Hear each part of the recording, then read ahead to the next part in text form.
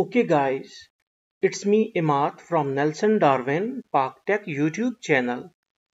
In this video tutorial, we will learn about how to make an LED chaser or simply an counter circuit within the multisim. The IC we are using is the CMOS 4017. It is also called as the Johnson's Decade Counter IC. So let's start our circuit. For it first we need to go to place source. Click on it and then we need to get our DC power supply. Now this is our DC power supply. After it we need to take our ground. You need to connect the negative side of the battery with the ground also reduce the voltage to 5 volts because majority of the CMOS are intolerant of 12 volt. Okay, now we need to take the clock pulse. So for it, we will go for signal voltage sources. Okay, to signal voltage sources and here we will search for our clock signal. Okay now we will search for CD4017 or just 4017 BD so we will just write 4017 4017 BD so this is 4017 BD so we, we can take it out. We will press OK.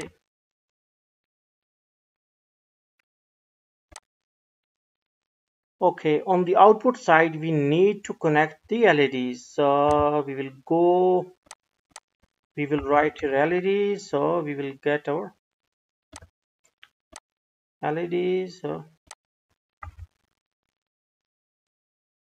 we can choose our LEDs orange.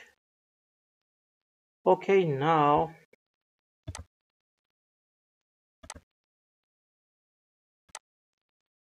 okay now right click on it and rotate it clockwise and then flip horizontally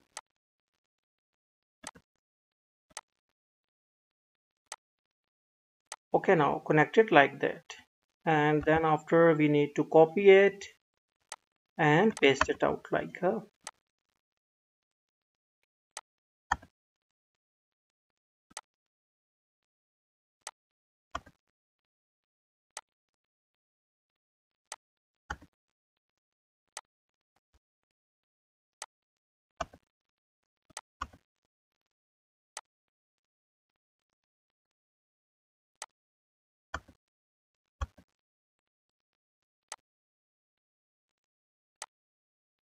So 1, 2, 3, 4, 5, 6 and 7 LEDs are there. We can connect some more but still okay for us to connect 7 LEDs. So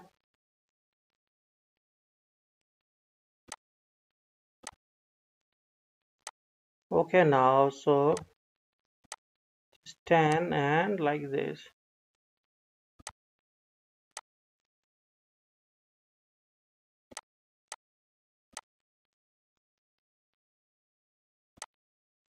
okay now we need to connect all the negative sides with one another and then we will connect them to the ground.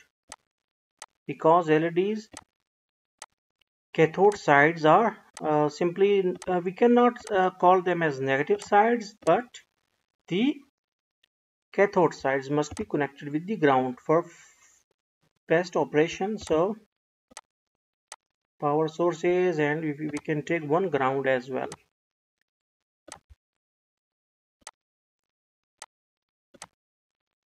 okay now we one more thing that we need to connect the clock with like that and we need to connect it like a CP 0 okay and uh, we don't need this this one okay and cp1 must be connected with the ground. Okay now we need to run this circuit. It can take two to five seconds to run it. One more thing that our clock pulse is very much high. It is it must not be greater than 3 hertz. And we have mentioned here 1 kilohertz so yeah. Because you can see that